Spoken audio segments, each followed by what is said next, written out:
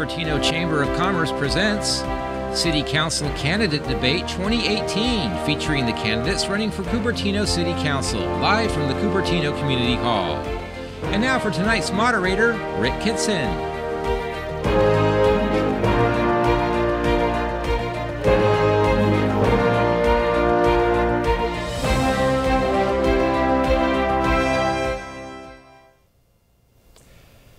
Good evening.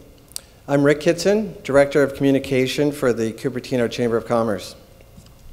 Thank you for joining us tonight. In 1954, the Cupertino Chamber of Commerce was founded to help create a new city that would be called, coincidentally enough, Cupertino. The Chamber is proud to have been an active part of this dynamic community from the beginning and is excited to continue to promote a thriving and sustainable Cupertino. The vitality and health of our community can be profoundly impacted by its selected by its elected officials, which is why we are here tonight. We have eight candidates, eight of our neighbors who live here in Cupertino, Cupertino with us and who care deeply about our community.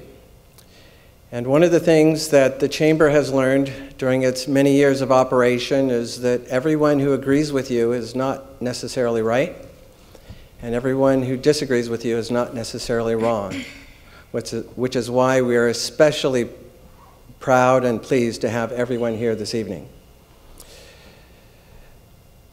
This evening's topics have been selected by members of the Chamber of Commerce, most of whom are small businesses. Earlier this evening, candidates randomly selected topics and they will address those topics in the order in which they appear on the ballot.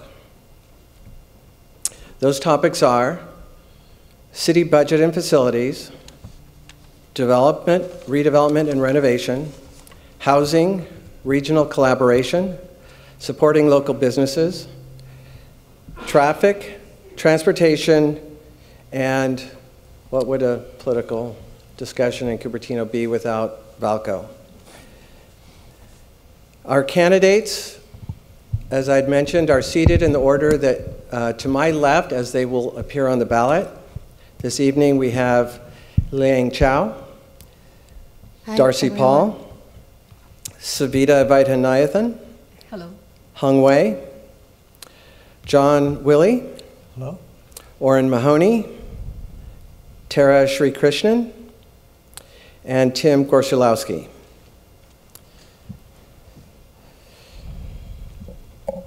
Oops, there we go. Thank you. Um, we have, uh, for each round of these topics, a candidate will present a two minute statement on the selected topic. Other candidates will have one minute to clarify how their own views may differ or agree with the initial presenter, after which the initial presenting candidate can make concluding remarks. Uh, we would like to remind everyone that we don't every, expect everyone to agree, quite the opposite, which is why we have elections, but we do expect everyone to treat their neighbors in a neighborly fashion. Uh, one of the great charms of Cupertino. So to begin with, we have Liang Chao, who will lead off with housing. Please begin. So I think it's important that we have integrated planning considering all three important factors, housing, office, and transit together. I support quality affordable housing for families, seniors, and people with disability, not just tiny low quality units. We need solid action plans for affordable housing without compromising our quality of life. Any solution for housing has to address the root cause, rapid office growth. Rapid office growth beyond the infrastructure capacity and the lack of viable transit. I will advocate for reliable and efficient transportation solutions serving students to seniors and connect essential services and locations such as citywide shuttles. I think we have, in order to address housing, we have to make sure that every project is not, not all project with a tiny bit of, of housing is a housing project. A project like Valco Tier 2 plan actually creates more jobs than the amount of housing it offers. And that actually will create worsen the housing crisis. It will bring in 10,000 more people to compete with our current teachers and service workers for housing. This kind of um, project will actually worsen housing crisis. We need to make sure it's balanced. And when we already have too much office from Apple Park, also from Main Street, then we need to cool down our office. Also, Cupertino already has many sites already zoned for office. Then we need to balance out the different office and housing sites. Thank you. Thank you. Darcy. I'll uh, wait till uh, we get the time reset here. Uh, topic is housing. Understood. Ready? Great. So housing is a very important topic to consider. However, we shouldn't be using housing as a pawn in order to help people uh, make more profits. And so where we're at right now is that we have uh, a housing plan that also comes with a jobs plan over at uh, one of our developments and a state housing law that is purportedly uh, supposed to help fix the housing crisis has now been invoked to create a development proposal that is going to make the housing crisis worse here and overall in the region. Uh, I am okay with making sure that we deliver on the housing units that we need. However, we shouldn't turn this into a cynical and hidden exercise with regard to what our real motivations are here. Uh, it's, it's extremely important that we fix transit. If we can deliver on the promise of being able to get us from here over to the Central Valley. We can go and uh, make sure we get there quickly and open up the economy of an entire area of California, as well as help our own housing crisis here. Thank you. Thank you. Um, Great. Savita, the topic is housing. Okay. We need housing at all levels in the Bay Area. And we need to look at it as a region, not just a city, and look at just numbers of jobs and housing and look at that as a formula. And we need housing for all people at all income levels and all abilities, which is why I voted for the Tier 2 plan, so that people of all abilities and income levels can be housed there, including teachers who would not be accommodated in the SB 35 process. And if it's if we are trying to talk about our schools, we have to keep in mind that the teachers are leaving in droves. So how do we accommodate teachers? How do we get our first responders? We need to have housing for people at all levels and address mass transit, which is why I've been working tirelessly on VTA to get mass transit to our area and working with Apple as well as San Jose to bring transit on Stevens Creek Corridor 280 and 85. So housing cannot be discussed without transit in mind. We need housing in our city to accommodate people at all income levels and abilities. Thank you. If I could remind uh, candidates, the microphones are very directional, so uh, be sure to address them as well as the audience. And uh, we go to you now, Hung, um, on housing. Okay, thank you, Rick. Cupertino needs inclusive housing. We have beautiful single-family neighborhood, but we need housing options for all income levels, for seniors, for teachers, for public employees, for young professionals, and for working families. I believe that we are, with inclusive housing options, we are able to build a Cupertino that's more diverse, that's more dynamic, and of course, housing has to come with transit. That's why I am in support of a Tier 2 Valco specific plan with the housing elements, and we are going to work with transit parallel to the housing so that we are not afraid of traffic, because I think traffic is one issue that concerns everyone.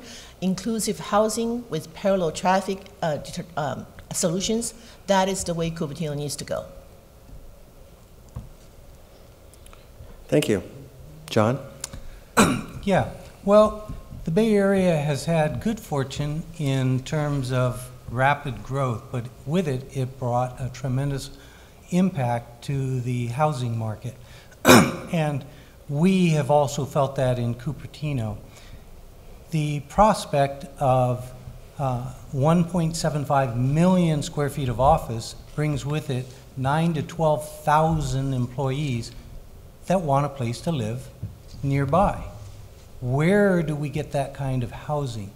The number one thing for the housing is to, to make sure we're not, you know, causing more of the problem ourselves. And we need to distribute the housing as best we can, not concentrate it in one little area of the city that's going to create uh, traffic and school crowding. We need to, to be balanced in our community. Thank you. Yeah, housing, yeah, housing is an important issue, and it's uh, really changed in Cupertino from people's feeling a few years ago where they were worried about one more child going to their school, having it collapse. Uh, people understand now that actually the enrollment's down in the schools, and the schools are financially hurting because of that. But more important, if we can't have housing for our teachers, we're not going to have good schools. Um, we've had, uh, from, for a while, we had a balanced program for housing in the city with the units spread uh, throughout Stevens Creek Boulevard, including the Hills at Valco plan.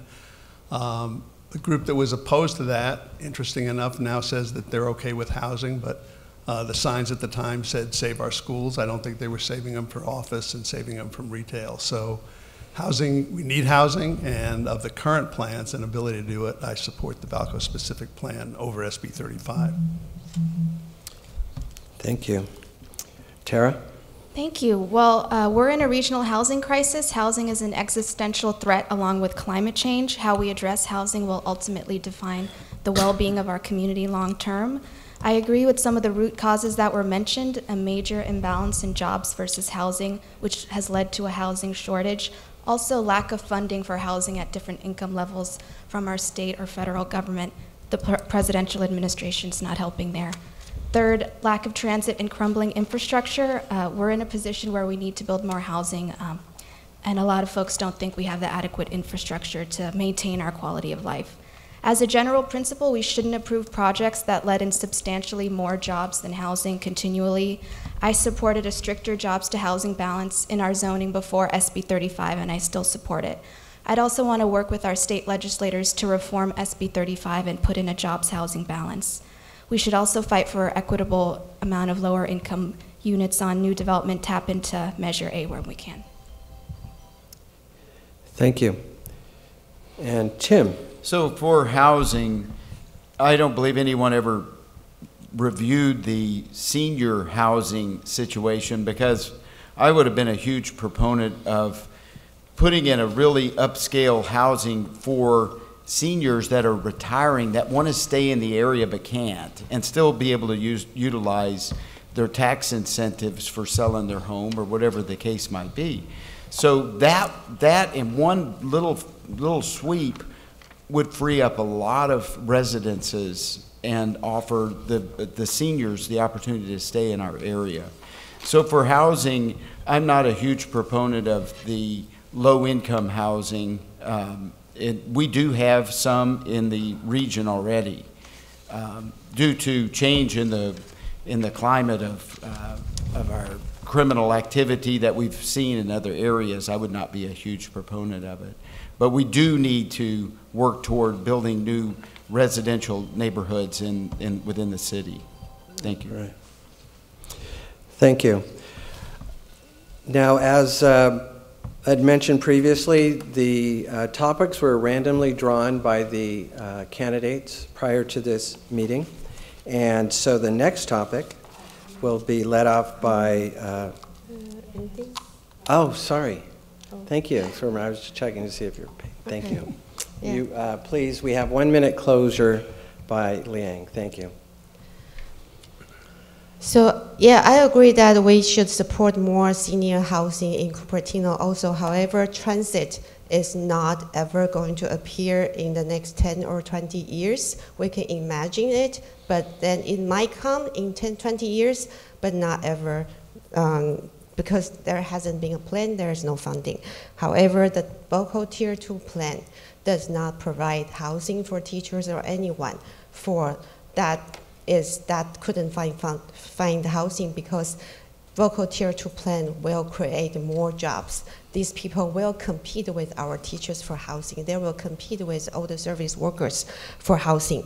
And uh, we do need housing, on, we, but we cannot tra- trade office this city council has decided to trade in more double the office for token benefits. This is exact, exactly why this region is in housing crisis because all the city councils have been favoring office over housing. Thank you. The next topic will be started by Darcy Paul, and that topic is supporting local business. You have two minutes. Great, thanks very much. So before I was elected to the Cupertino City Council in 2014, I was on the board of directors of the Chamber of Commerce. I was their sitting president in 2014, and the way this happened is that I ran for city council in 2009 and didn't get elected, but the board of the Chamber of Commerce, uh, which did uh, endorse me in 2009, asked me to sit on their board. And so uh, I was grateful for that opportunity, was able to run their legislative action committee for uh, several years. And uh, as part of those duties, because the Chamber of Commerce, uh, just like everyone else in this area, was going through rather lean times in 2010, part of those duties were uh, kind of all hands on, uh, on deck kind of effort to make sure that all these various mechanisms of our Chamber of Commerce were functioning properly. One of those mechanisms, as you might imagine, is our Chamber of Commerce directory. Um, at that time, a lot of people were saying, why has the Chamber of Commerce not come out with a directory for four years? And so, uh, as you can imagine, if you don't know anything about publication, it's something that takes a lot of time and effort to do. In addition, you're gathering a lot of different stakeholders and businesses and asking them to support uh, this mechanism of an organization that at the time wasn't doing that great. This took a lot of work, it took a lot of perseverance, and it also took um, the ability to sit down with the people delivering our publication and making sure that they actually delivered that product. So we did that in the iteration between 2010 and 2011. After that, we took our Chamber of Commerce directory in-house, and I actually led that effort uh, with our current CEO, Anjali Kausar, to actually get that published um, by ourselves. The reason I relate this story is that it is indicative of the work and the perseverance that I put in to talk to our stakeholders about the various issues that are confronting the small businesses, and also to indicate that there are a lot of moving parts in our community uh, and a lot of this background work that needs to be done.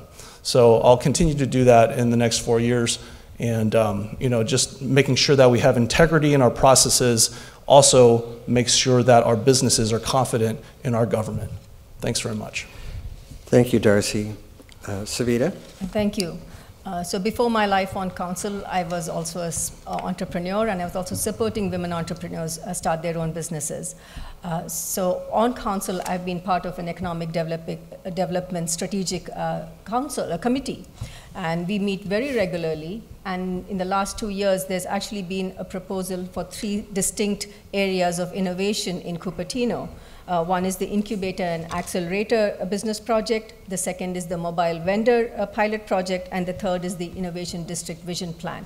I've been working tirelessly on this and encouraging people who want to have startups to come to our meetings and give us uh, their vision and tell us where they want these uh, incubators to be placed. And we're trying to revitalize some of the retail spaces which may not get as much attention to be an incubator space. We have our youth who are interested in uh, starting their own businesses and have their business plans ready to go. So it's a constant innovation of people who want to be in different businesses, be it restaurants or any other kind of startups. That is something I've been encouraging with the Chamber of Commerce.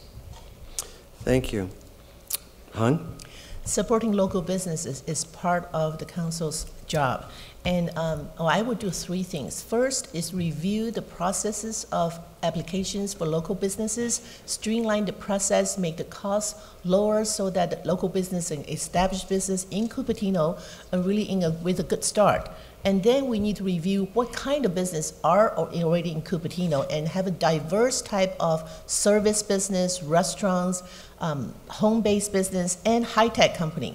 One of the things in uh, specific Valco too is we do have a lot of office spaces, but we could attract another major high-tech company so that we don't have just one high-tech company that supplies and with our revenues. So that's actually a plus. You know, there are always pros and cons on everything, but that's one thing Cupertino can explore. Another high-tech company that could, um, you know, give us more revenues and so that we're not dependent upon just one.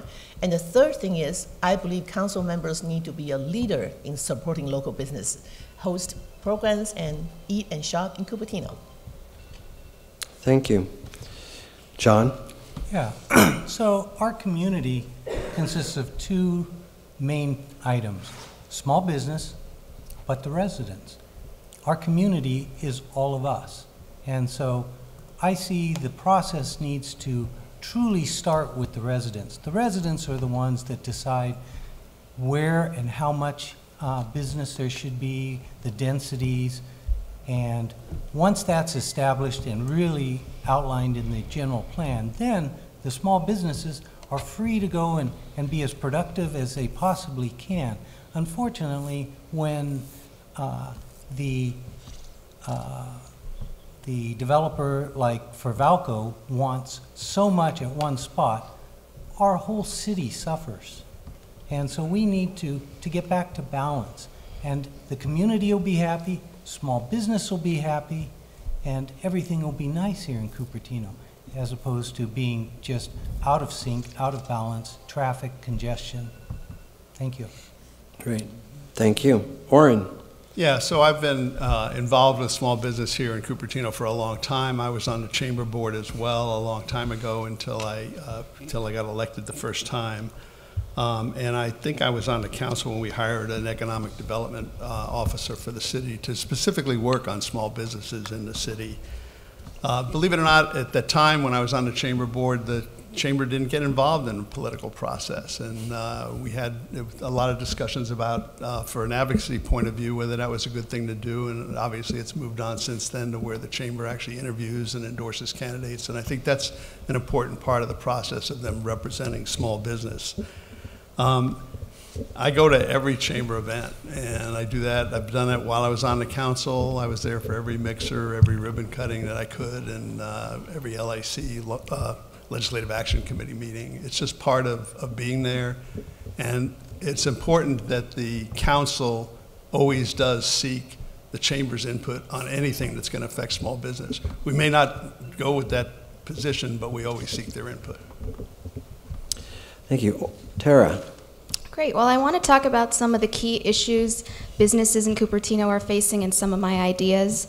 Uh, we have a lack of affordable office spaces for mid-sized businesses. If you think 20,000 square feet to 100,000 square feet, lack of diversity in revenues in our general fund, about 18% comes from Apple, and just an overall challenging economic time for traditional independent retailers. You see small businesses closing down along Stevens Creek uh, and De Anza.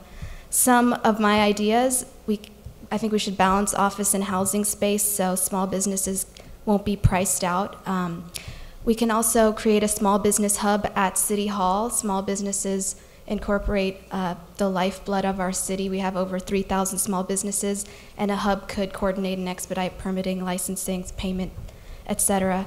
We could also work on a Legacy Business of the Month program, which is something I have experience doing to highlight the history of our longtime small businesses. Um, we can also follow the lead of neighboring cities to work on a TMA with our businesses, also look at a bid, a business improvement district for Stevens Creek. Thank you. Great, thank you. Tim. So, after being in business for, I was going to tell you 30, 35 years, but I, I'm afraid to tell you, but it's the truth. So, I can tell you the ins and outs. I've helped a lot of small business owners start, and it's actually fun to do. And that's one process I'd love to work with the local people and get them started into a small business and promote them and teach them what actually what's the laws and what's the pro- I heard that word streamline a, a moment ago. That's one thing I'm huge in. I, I get so frustrated. We're stuck with a lot of the laws in this state, and there's nothing we can do to change them in a short term. But to make a long story short, I will work to make sure that people follow the proper processes and make it more simple. And addition to that, I'll bring back some of the high-tech companies that we've lost here because those are huge for this city for long term. In a downturn, you'll, you'll say, oh, Tim was right on that one.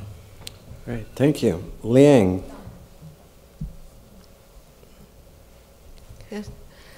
So business is, businesses are essential part of Cupertino. And when we provide qu- quality of life depends on the services of the business provide. In, we are in the middle of Silicon Valley, the central part. However, Cooper, our, both of our shopping malls are failing. This is a lack of leadership by the city council. We have affluent population. People are, can, uh, but then we are forced to go out of town to shop. If we, the city council can step in, figure out the consumer needs, what kind of services our residents would need, provide those services, those shops in Valco, in Oaks. Of course, people are going to line up to shop locally, and we will generate sales tax. So and then also the city can provide a platform for the local businesses to reach out the cu- to customers, not only in Cu- Cupertino and area wide. We can help our businesses to be successful. Great. Thank you. And Darcy, back to you for. Yeah, I'm going to go back to my original theme here. We need to be having council members willing to do the work. Um, one of the things that most people don't know is that we had about 30,000 square feet at Main Street dedicated to innovation hub incubator type of startup space. That did not get used. I was the only council member that actually uh, reached out to stakeholders. I reached out to uh, one of the administrators at the local small business administration. I didn't have a majority that was willing to work and go ahead and say, look, let's focus our energies on this available space. And so the issue really is not so much the decisions. The issue is the willingness to put in the work, uh, to look at the various items that are there and have those conversations that are meaningful and uh, be able to say, look, let's go ahead and put this on the agenda. Let's make uh, sure that we're looking at things like uh, the expenses of various um, small businesses and see how we can alleviate those types of stresses. So uh, my theme is let's put in the work, let's get a majority willing to do that. Thank you. Thank you, everyone. On to our next topic. Savita has drawn development, redevelopment, and renovation. Thank you. I'm just waiting for the time to start. Okay, I'm looking at your clock. Uh, it, it encompasses the first two questions that we answered. Uh, we develop, we redevelop, we renovate. And if we don't, we die. So we have to be thinking smart and develop smartly. And definitely keep in mind that we do not encroach open spaces and green spaces. That's really very important to me. Uh, when we talk about development, it needs to be, especially with terms of high density housing and office, has to be in transit corridors. We need to keep in mind transportation and absolutely work with the TDM. And in fact, we did uh, have a study about two years ago to have a traffic impact. And that is something which we absolutely have now. So if there's any development, there's going to be a traffic, traffic impact, impact fee. So when you talk about development and redevelopment, there are some mitigating measures that are already in place. When we talk about renovating, you have to think about revitalizing spaces in retail which are currently suffering. When we talked about incubator earlier, it's about those spaces at the back of a furniture store where no one goes. That can be revitalized we need to think about small spaces which can be given a new life. That's called renovation. Our community is constantly looking for spaces to socialize. We need community rooms for that. Just like we energized our neighborhood parks, we need to energize community space in place which originally was retail, which is no longer being used. That is a way to revitalize. Uh, I would also like to talk about uh, the, the innovation vision plan. This is part of the EDSP. And if you want to learn more, please go to our website. It is a very conclusive plan. It is something that's exhaustive. We talk about innovating in different districts all over the city, and every uh, PDA that is coming up on different corridors has a comprehensive plan. So please take a look at that. Thank you.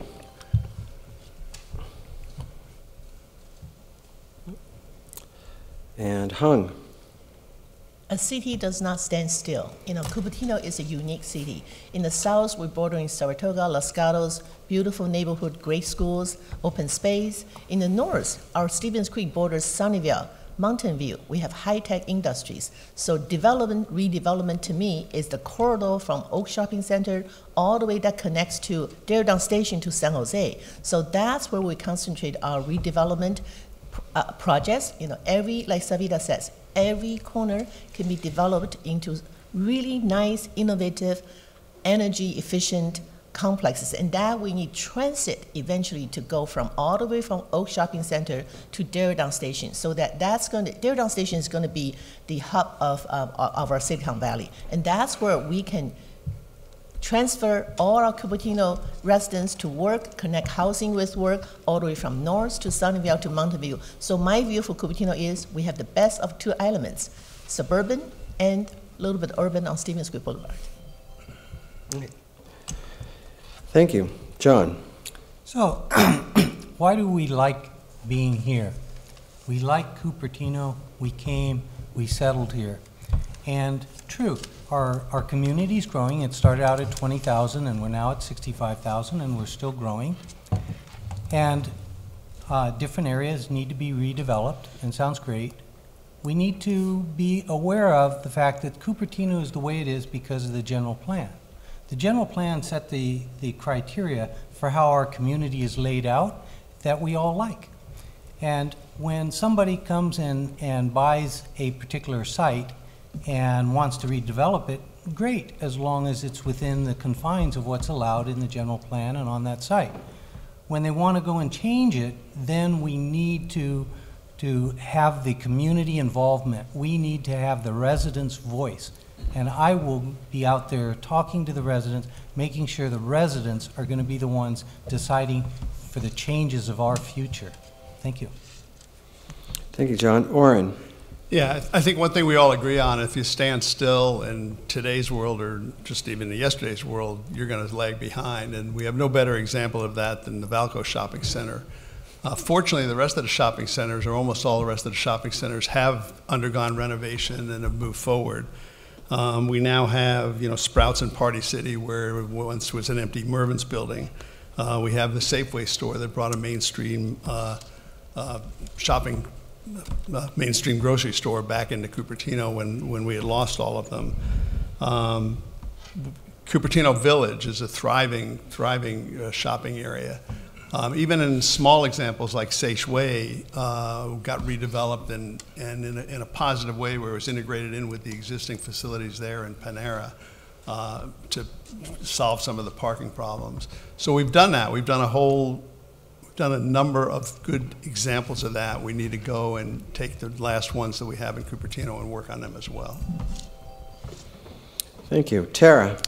Thanks. Well, first and foremost, I've publicly uh, refused and renounced uh, contributions from developers, either directly on my campaign or through independent expenditures, and I think that should be a clause added to our voluntary campaign pledge that candidates sign, so folks know if we're approving a project it's because we have the community's interests at heart.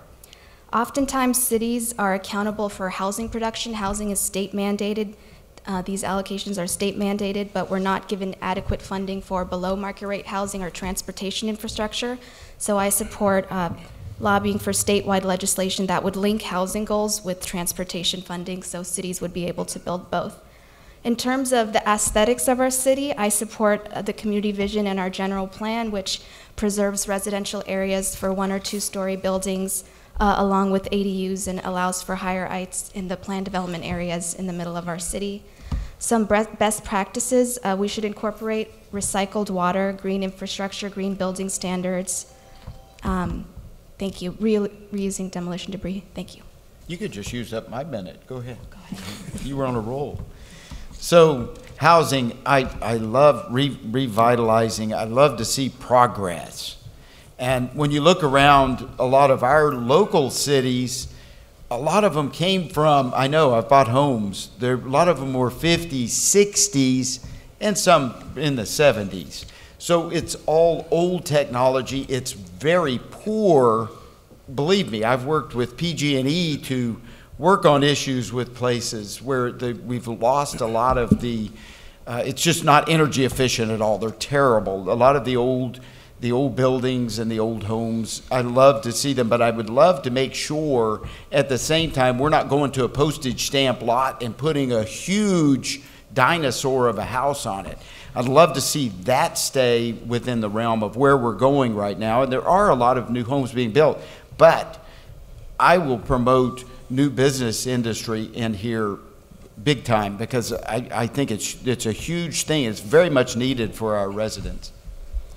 Thank you. And Liang, the topic is development, redevelopment, and renovation. Definitely, the city needs to grow. But then to grow, we need to plan. We need city planning and we need regional planning. We need long-term plan. We don't want to use the money we don't have. We don't want to assume there will be transit coming and then pile up people and workers when we don't have a plan that can bring transit yet. So when we talk about city planning, if we already have too much office and this one side wants to rezone shopping mall to office, what we need to look at is citywide. What other sites are already zoned for office? If we give 30 years worth of office to one site that wasn't zoned for office, that's unfair to all the other property owners who have who own sites that's already zoned for office. The same thing for housing. We need planning. And in terms of infrastructure, if we want, if we plan to have senior senior center and library and city hall, we should have do a study so that we can charge infrastructure impact fee so it's fair, not project by project. Thank you. Thank you. Darcy. Okay, we need council members that are be willing to do the work of the job. And the work of the job in this context is to make sure that we're balancing residential sentiment with the city's needs and opportunities. Residential sentiment. In the last four years, I have made it a point. Whenever anyone reaches out to me, I will go ahead and say, let's meet, let's talk, let's try to figure out what these issues are. It's easy to try to ignore those emails and try to act like, well, I didn't get it, I don't know what you're talking about. But at the end of the day, you can take a look at my schedule for the last four years. Every single person who has reached out, I have made it a point to meet with them.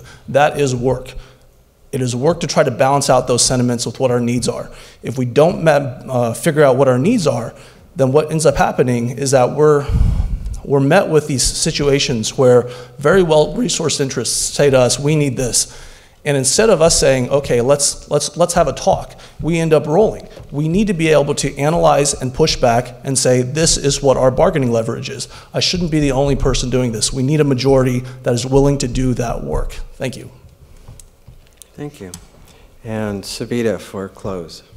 When I came into this city over 23 years ago, there were three orchards that I can remember, and one right here on Rodriguez Avenue. Those are now houses. They got redeveloped for a particular reason. Having been serving on the VTA board, the one thing I've been asking for is mass transit to our neighborhood. And I keep getting the response, you don't have density, you will not get mass transit.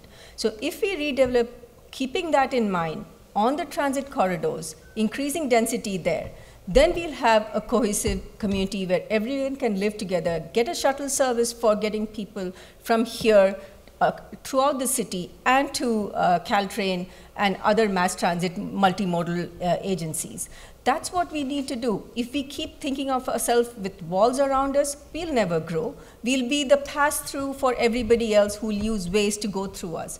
We need to develop and find mass transit to come to our city and help our residents throughout. Thank you. Our next topic will be city budget and facilities, led off by Hung Wei. City budgeting facilities, that's actually one of my favorite topics. Um, for 11 years on Fremont Union High School District, our budget is over $100 million, and I believe our city's budget is $140,000. There are three parts as a leader in the city. First is to really to maintain physical health, have a healthy reserve, and also um, build good relationships with our employee groups. That is so important in maintaining a good budget for our city. And the second part is really to prioritize what we're going to do with our budget to help our residents. Mostly, what our prioritize is for public safety, park and recreation, road maintenance, and library parking problems. These are all to maintain our quality of life. We heard a lot of candidates say that they are for the residents, but the most important part in a city council's job in budgeting is actually to represent our residents in fighting for extra budget, just like in Measure B. I believe a couple of council members fought for $350 million Measure B funding for Corridor 85 corridor. Now it's in the um, study session and the money is being released from the lawsuit. We represent our residents to fight for extra budget. We build relationships with groups outside of our city, and then we, uh, for example, build relationships with neighboring cities to have a real transit solution for our Cupertino. Um, some candidates say it's not possible. It is possible. We need to be doers. We need to be out there representing our residents, fight for extra revenue to really solve our regional transit issues. And so these are what the, a council member need to do. Internally, make sure we have physical health, prioritize to make sure our quality of life is being taken care of, but outwardly represent our residents to fight for extra rev- revenues to really resolve our traffic issues so that we have a really the best Cupertino for all the residents. Thank you. Jon? So, fiscal responsibility, absolutely. I, I make sure our family really adheres to that. And so the city is actually in very good shape. So I won't suggest that there are, are things that have to be changed. We're, we're not uh, uh, uh, over budget, we don't need to borrow money. So, so we have pretty good fiscal health, so then what do we want to do with our community? Do we want to transform our commu- community in ways that the residents don't want in, in the interest of satisfying a big developer? Is, is that what anybody here wants? No, our community, it's, it's in good shape, and let's make sure the residents are the ones that are deciding where our community's future is going to go, that uh, what's right for our community, traffic, schools, things of that nature, and we will all have a wonderful community to be a part of. Thank you. Thank you. Orrin? Yeah, so a budget is driven by two things, revenue and expenses. The city does a really good job of controlling expenses, especially by contracting out our sheriff's department and the fact that uh, we use county fire, which has its own pension system. Uh, revenue is important. We get less property tax than almost every other city historically. Um, we got that upped a little bit. So we rely a lot on sales tax and hotel taxes. And a lot of that's driven by our big employer, Apple. Uh, Apple's direct and indirect benefits to the city are substantial. So it's interesting when we keep talking about the residents versus the big bad developers. When Apple Park was approved, that was for the residents. They're paying for your parks, they're paying for paving your streets, they're paying for all the other facilities that you have here. So it's not, nobody approved that project because we liked Steve Jobs or thought that, you know, it, it was going to be a pretty building, although it is a pretty building. We did it for the residents because that's what pays the bills. Thank you. Tara? Thanks. Well, I support uh, our city's measures to remain fiscally responsible, um, including our 20 year plan to help uh, address our unfunded pension liabilities. I think our main expenses will be maintenance of our public facilities, streets, parks, garbage, and our main capital expense will be Civic Center revitalization, which will be uh, expansion of a, the program room at the main library site, hopefully an underground garage, because parking at the Civic Center is a nightmare, um, and a new city hall, which needs to be seismically retrofitted. Um, how are we going to pay for this? 10% can come from our general fund. Uh, and a large part can come from a lease financing agreement, which we would pay from our general fund in installments over the next 15 to 20 years. Um, I do think we should prioritize our library and support our community's quest for knowledge. I think the library is the centerpiece of our city. Thanks. Tim?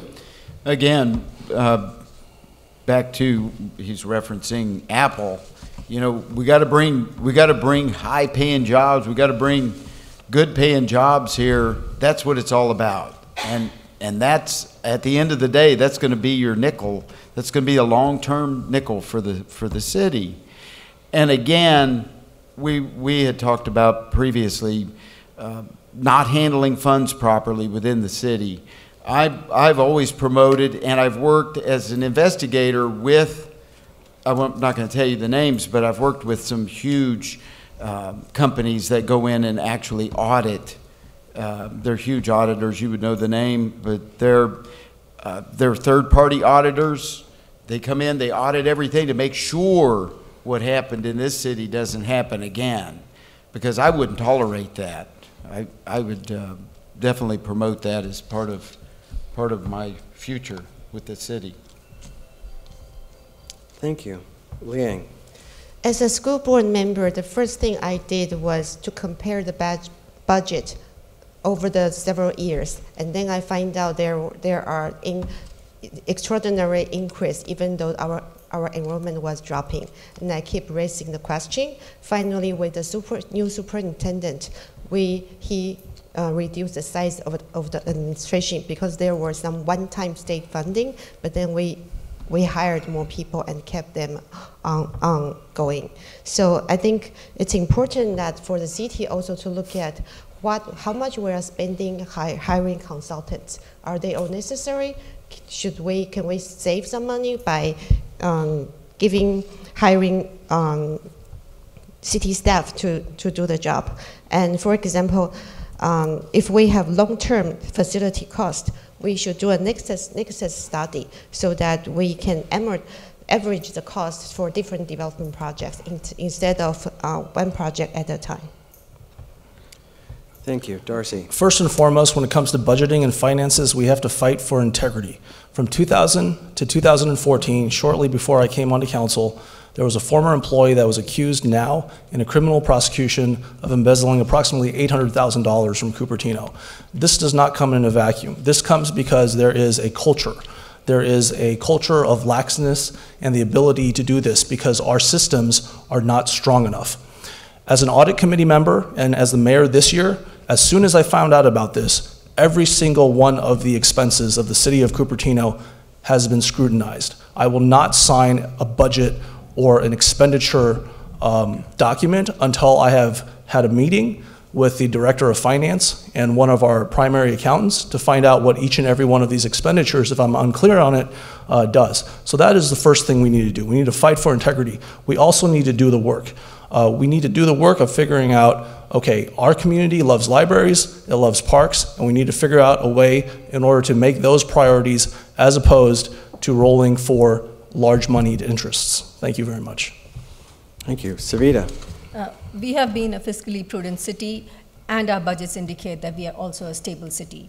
Uh, a fourth, uh, I would say, our revenues are split about a fourth from sales tax, property tax, uh, charge for services, and the remaining fourth, approximately, uh, is tra uh, transit occupancy taxes. But we do have an over dependence on Apple, so we need to diversify. We need to keep that in mind going forward when we develop. We have to get other businesses in town, so we don't rely only on Apple. How we use our funding, we've been very prudent about it, and even trying to rebuild City Hall. The reason I voted for Tier 2 is that we will get a City Hall, even it's a warm shell, and then we can put that money that we had set aside for City Hall towards library and other services. And I even asked the, the developer right here during that meeting if they'll help with the library, and they said they would. So we will get something else in place here in City Hall, make sure it's seismically safe, and make sure that we have money for libraries and parks and keep our public safe, which is of extreme importance. Great. And Hung for close.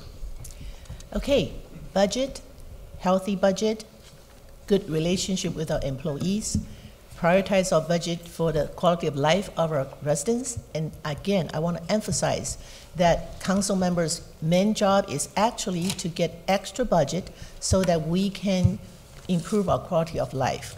For example, Apple Park, as Orrin says, we're not on the, they're not on the Apple's pockets. They are actually on the residents' pocket. Sand Hill, that's going to build $30 million for our city hall. As Savita said, it's going to save us probably another $30 million. And that can be used for park and recreation, for road maintenance. That's a council member's main job is to actually to get more budget for our residents. So we are here, everybody's here for the residents, but we need to really get out there to, to really have solid connection to solve our transit issues, to really build a best Cupertino going forward. Great. Thank you very much. The next topic uh, will be led off by Jon Willey. This is something that I think everyone agrees is uh, there's not enough of. Transportation. So yes, right, trans- transportation. You know, having grown from 20,000 to 65,000 people, and all of the Bay Area has grown so much, and we all feel the effects of it, uh, 280, 85, 101. Well, we know that the future is going to cause us to, to use different modes of transportation, and so we definitely need to be aware of all these and working toward them. If we, if we take the, the biggest one that would uh, help, and that would be uh, uh, VTA getting us a rapid transit system. Unfortunately, it's a long-term project. It's not something that's going to show up next year or even the year after. With an engineering group, I toured the Diridon station, and it's beautiful. And I asked them, when's it coming to Cupertino? And they said, we haven't got a clue. So we definitely need to be working with them. I'll, I'll definitely work with uh, uh, uh, VTA. I'll be taking my engineering expertise of being a licensed engineer. What are the challenges that would uh, uh, kind of keep it from coming and help to remove those challenges?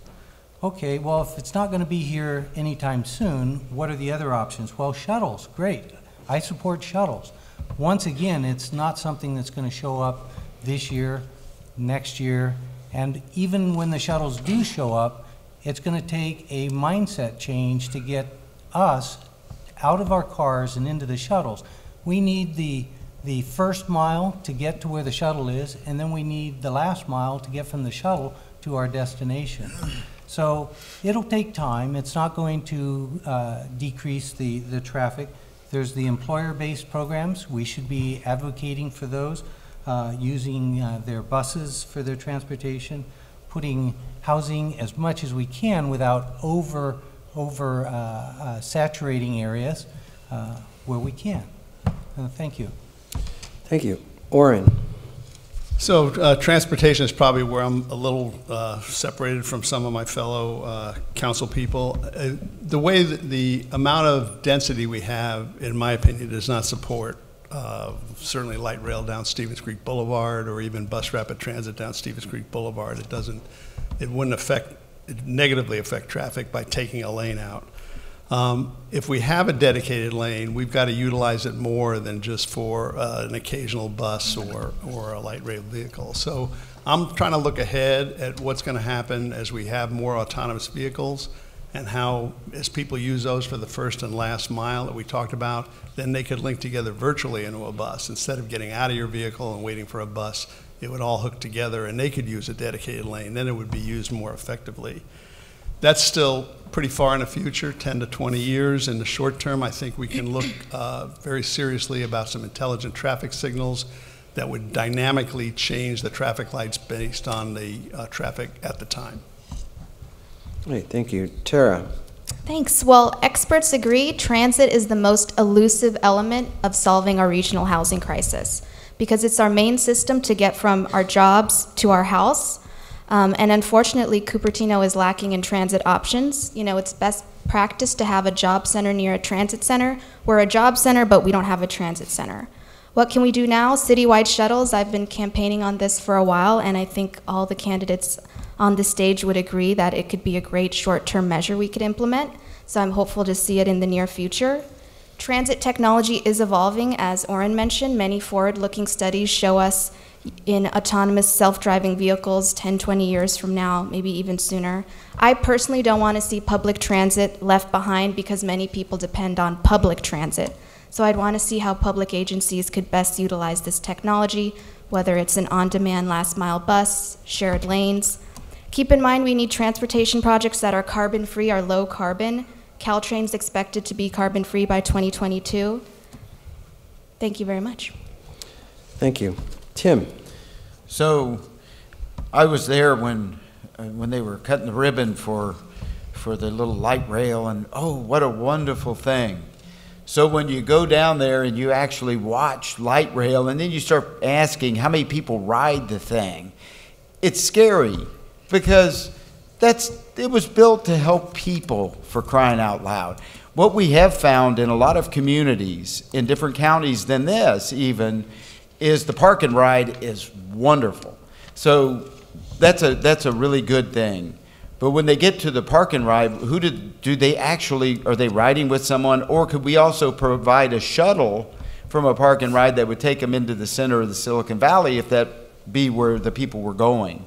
So there's a lot of options that could be, could take place. The, the transportation in the Silicon Valley has always been bad. It's not right now. It's always, there, no one ever had a real good plan, as Darcy and I were talking about 30, 30 years ago, if we would have had some of these good, great ideas underground, it would be a different world right now. Thank you. Thank you. Liang. Traffic, traffic, traffic has been the biggest issue that everyone mentions. However, transportation solution doesn't come. And for the long term, I think Cupertino does need the shuttle services. We need that for our, our students going to school, and then we need our seniors who has less mobility. I would like to advocate for shuttle buses for Cupertino, at least to connect essential locations in Cupertino. And then countywide, I think we do need to work on solutions to provide commuter buses for our public agency employees and uh, a lot of employees who need it. So that it's not just Apple employee or Google employee have the luxury of uh, commuter, commuter buses. However, we need council members who don't just follow VTA leadership. VTA has failed. They have, the ridership of buses has dropped. The ridership even in Los Angeles, when they have worked on trans, housing near transit, has dropped. We need uh, new leadership to look at what we need are shops near transit stops, not housing. Thank you. Darcy. When it comes to transit, gridlock has happened when we have taken the path of least resistance. We need to do the work in order to get an effective mass transit system done, and we need it done quickly. Uh, quickly doesn't mean we wait 10 or 20 years. Quickly means we set an ambitious timetable and a schedule, such as four or five years out, and we try to get that done. Today in the news, there was news about Los Angeles having its first underground um, tunneling um, uh, project uh, opened by one of our uh, foremost entrepreneurs of our day. We need to go ahead and consolidate that. We need to ask Apple uh, to go ahead and contribute to this. I understand they are now in the transit conversation. Uh, I was very much central in getting that done in terms of making sure that we have, um, instead of a tax, a conversation with our major stakeholder company. I have been the only mayor in the last several years to actually go to the head of VTA and have a conversation. We need to be able to look at these points of resistance and be able to have intelligent conversations uh, instead of saying this is a pipe dream and it will never happen. Thank you. Savita. So I have been on the VTA PAC and board for the last four years. I have never seen anyone at any of the meetings. So I know how this works. I know how long term solutions work. I know how short term solutions work. And I was instrumental in talking to Apple and getting that on paper from them to say that they will support us in the plans that VTA has in place for Stevens Creek Corridor as well as 280 and 85. And that didn't happen until I actually spoke with the mayor of San Jose and Santa Clara and the county to get them all to agree for a solution on Stevens Creek Corridor, which is BRT. And that will come to our council soon. I'm, I'm sure it's going to come to us very soon because now Measure B uh, dollars will be released. Uh, for near-term solutions, I voted for the tier two so that we can have the shuttle service in cooperation with Valco and Apple for our residents for uh, getting to their places of work all around the city and to Caltrain.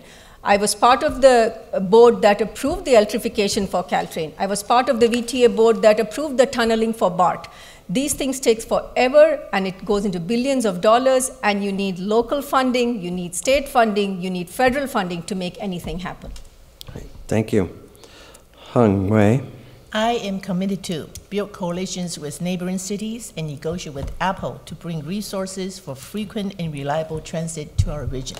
Yes, it's not going to happen in the next one to two years, but development, redevelopment is not going to happen in the one, to two years. So this parallel transit solution has to come when we redevelop our regions from Valco to Oaks, all the way to Diridon Station. It's so important to do that.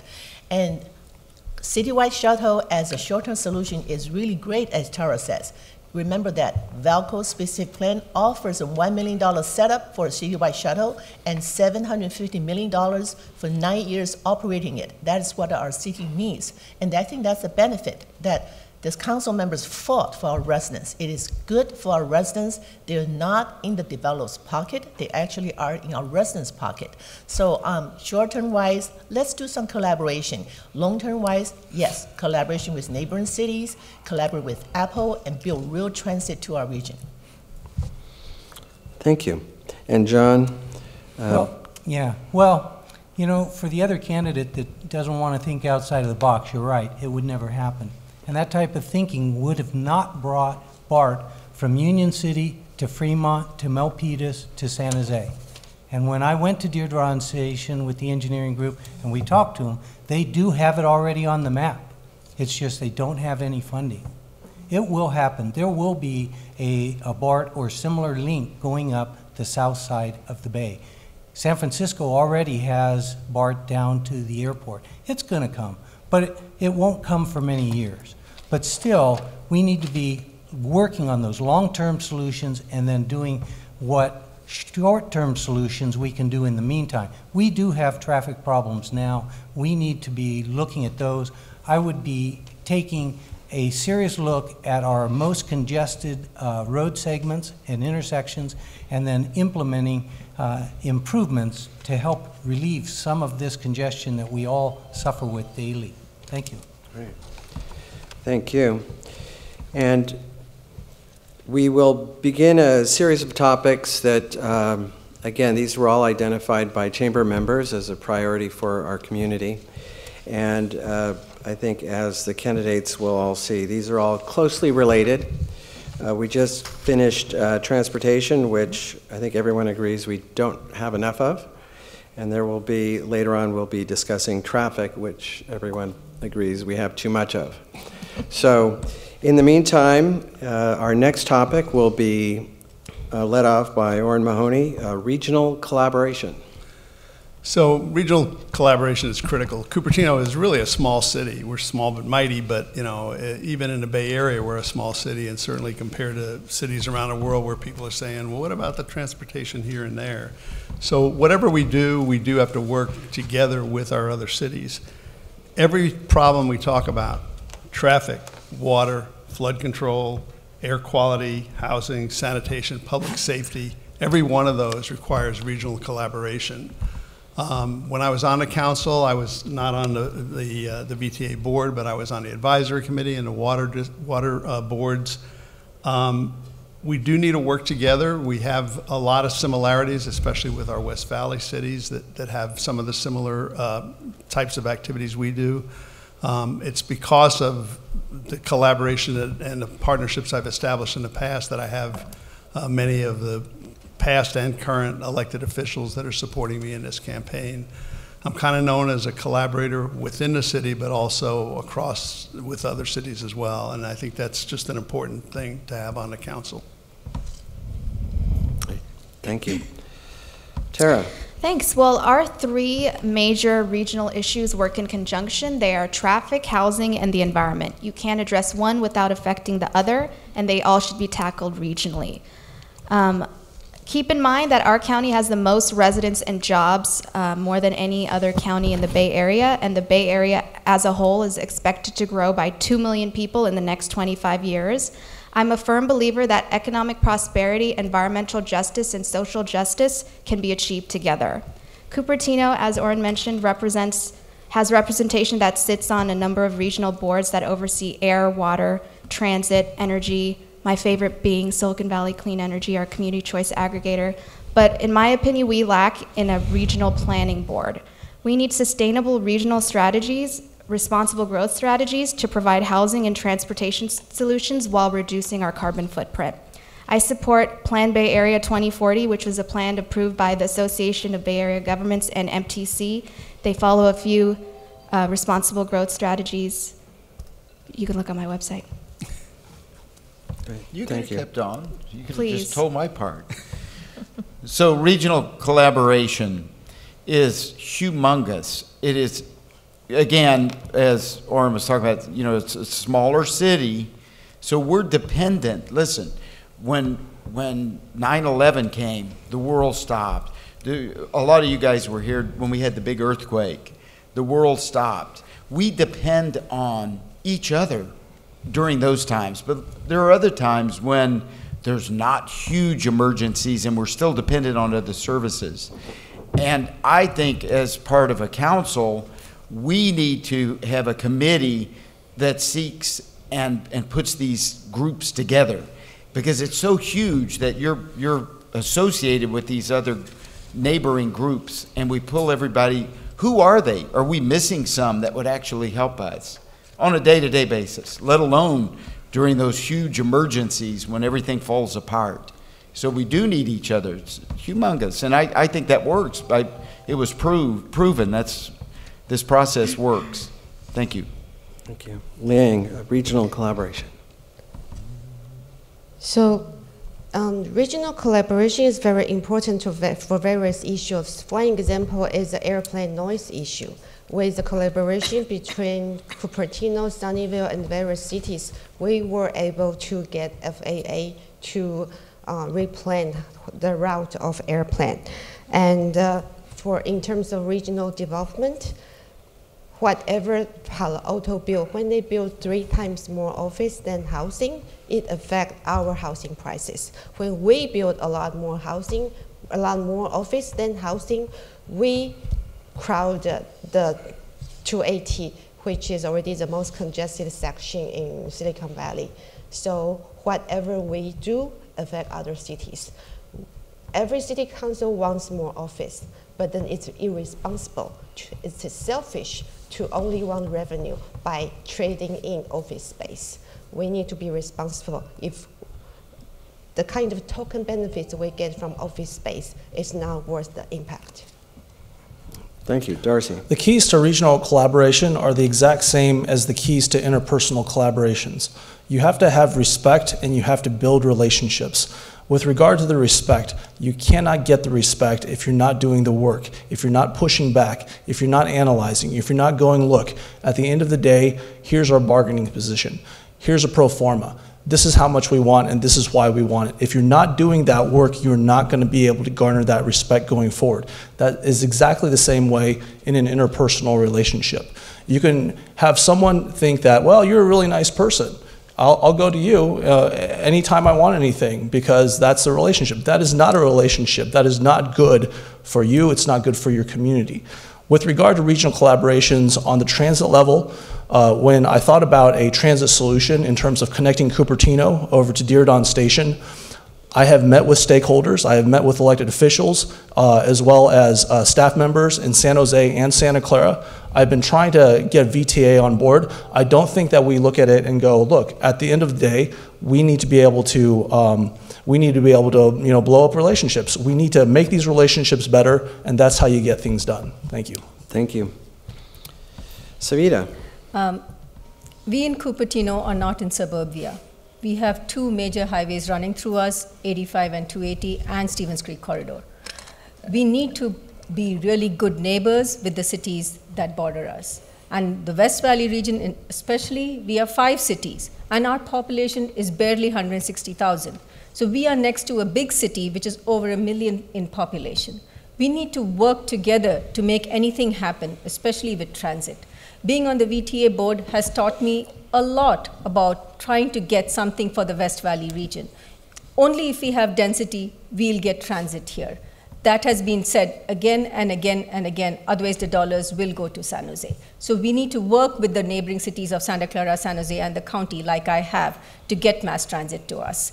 The other boards that we need to be part of is MTC, ABAG, BAAQMD, because air quality is really important, and uh, also the business community of SVLG, as well as the Joint Silicon Valley Vent- uh, Ventures.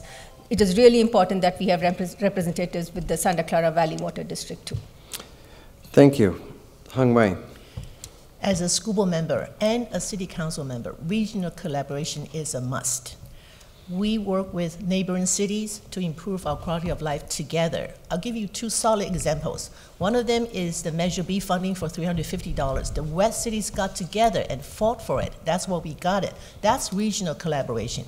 Another example is Apple and the water, uh, Santa Clara Water District in Sunnyvale had a recycling water pipe that's uh, done at Sunnyvale, and then that's feeding into Apple, but only a small percentage is being used by Apple. Any development in Sunnyvale and Cupertino can make use of that. I'm going to quote Catherine Owen, the Deputy Operating Officer at the Water District. She said, Apple drove this project. It is really a true partnership of both public and private agencies. City council members need to represent our residents to be part of that regional collaboration. That's part of the job. We're working for the residents. We don't just listen to the residents, we really go out and fight for them. Thank you. Jon. Yeah, representing the residents. You know, I've spoken over 25 times at the council meeting here about the impacts and, and high density. Well, I also went and spoke at the San Jose uh, council meeting too. The elephant in the room is the uh, San Jose urban villages that are coming down Stevens Creek, are planned for uh, Bollinger, are planned for De Anza Boulevard. San Jose has property in all those places.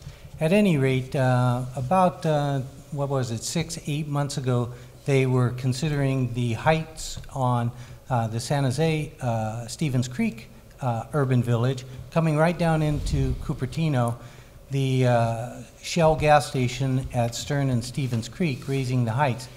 I went and spoke at that about the impacts to the houses on the residents. Steve Scharf, council member, also spoke.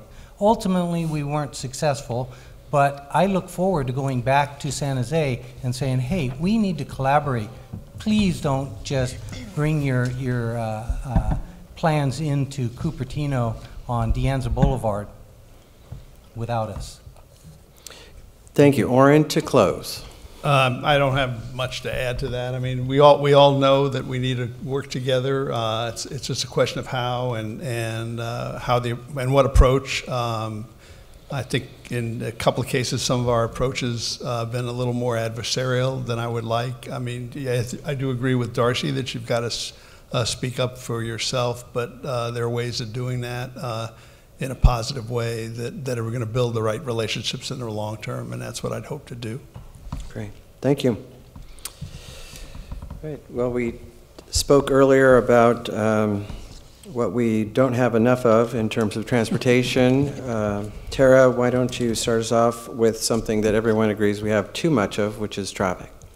Thanks. Uh, well, having lived in Cupertino my entire life, I've slowly seen the evolution of our neighborhood streets becoming highways and sometimes of the day parking lots for commuters. Um, as long as we have job growth and the economic growth we've seen, we're always going to have traffic, but we can put in some relief measures.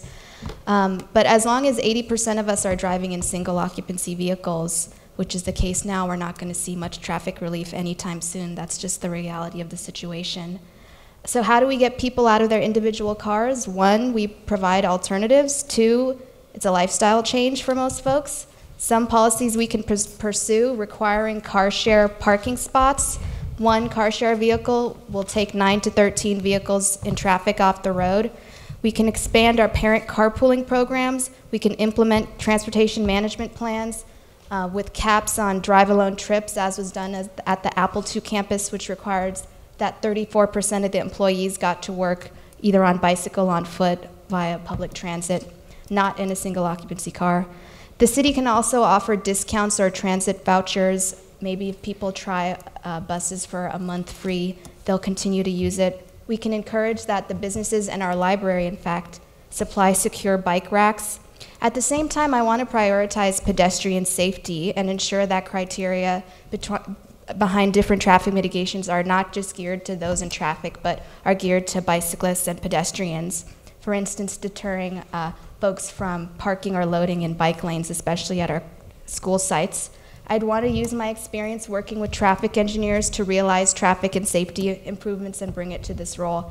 I got a good, some good news today. I got a text that an initiative that I started to get an automatic shut-off valve working with PG&E at a gas pipeline under a school today was successful. So hopefully that'll prevent an explosion at that school.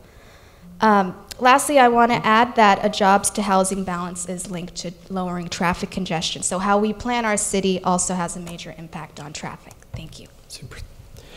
Thank you. Tim?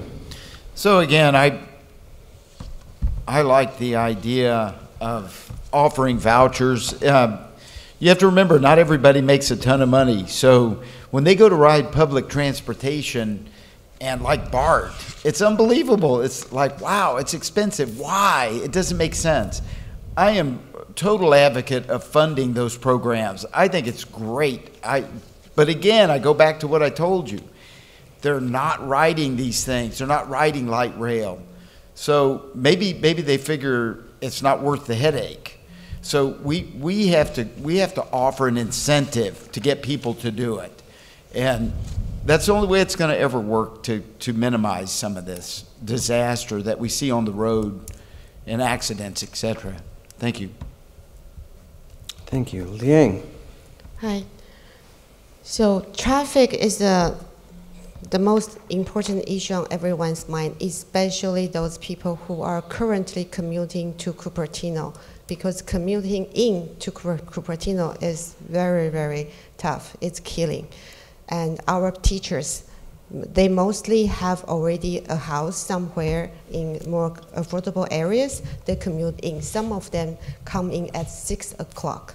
They have to leave at three right away to avoid traffic jam. And as a result, our students couldn't have after school cl clubs because there is no teacher to supervise them.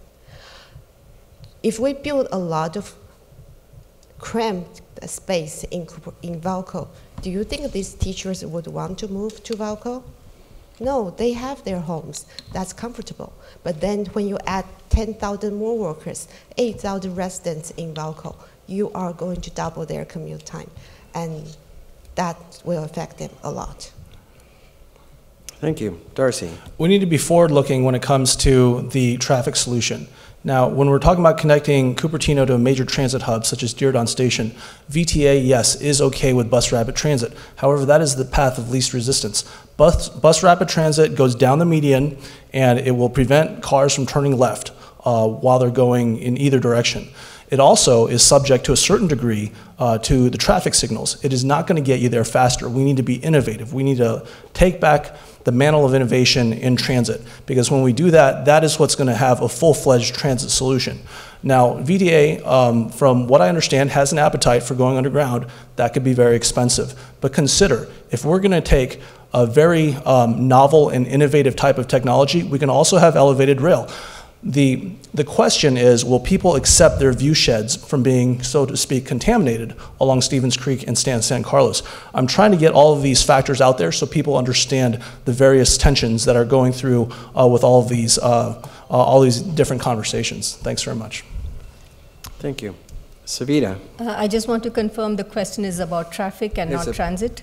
Um, and to speak about uh, transit and traffic is it's it's not the same, and especially when we're talking about uh, above ground, that's aspirational. There's land use decisions and view sheds, so that's not a relief for traffic. For traffic, we have to think in terms of uh, intelligent traffic signals. We need to think of how we can speed on, uh, in- increase speed on the major corridors and reduce speeds in our residential neighborhoods so that Waze does not send people through our residential areas, especially where in our school zones.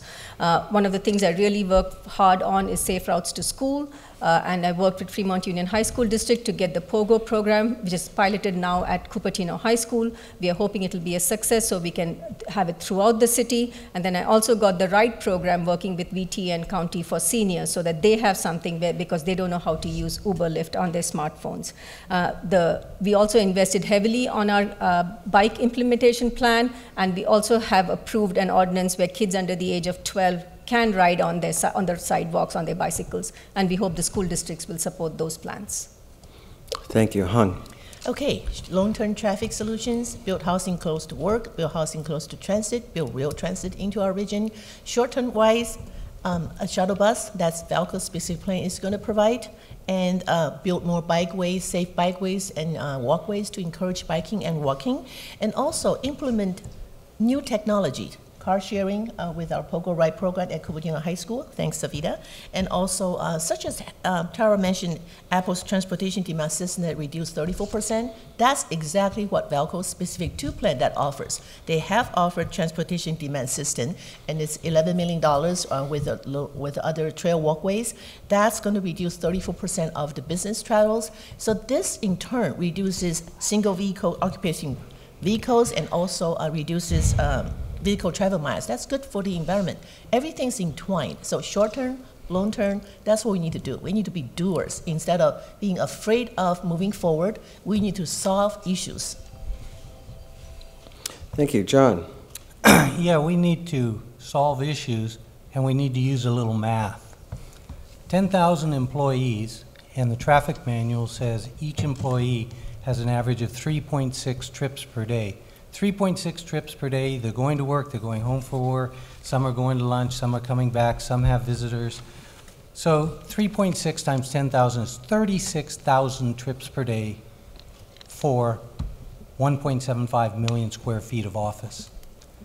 If you don't address that, all you're doing is adding to the problem. Even if we try to do some mitigation, which I intend to try to do, make some, some improvements, some of it with the signals, some of it with turn lanes on Stevens Creek, De Anza Boulevard, uh, McClellan, some of our, our problem places. But if we are going to get ourselves in the predicament of adding this massive amount of traffic at Vallco, that's just the office component. That's not the housing component, and it's not the retail. That's just the office. Thank you. Thank you. Orrin. Yeah, so look, uh, in real estate, it's location, location, location. With traffic, it's time, time, and time. You know, it's how long does it take total time from when you leave one location to get to the other location. Um, and that's why, uh, and it's convenience. Uh, San Francisco, that has probably the best public transit in the Bay Area, is losing public transit ridership to Uber and Lyft because of the convenience, because of the time. So you go, wait a minute, you know, these guys are still stuck in the same old traffic. But if you're not driving, it changes the dynamic. You can be doing other things while your driver or in the future your autonomous car is doing it. That's why Apple employees don't mind an hour commute maybe from San Francisco because they're doing their work on the bus. So we need to look at what's going to happen in the future and how that's going to work um, and not look at yesterday's solutions to this problem.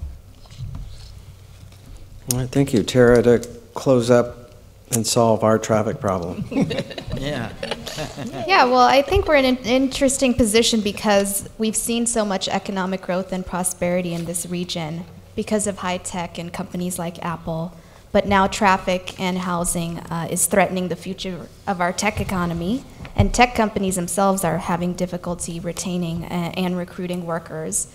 Uh, workers and teachers are commuting from farther and farther away to the point where they'll just stop making the commute. I think we collectively agreed on a lot. Uh, a jobs housing balance would, would lower traffic.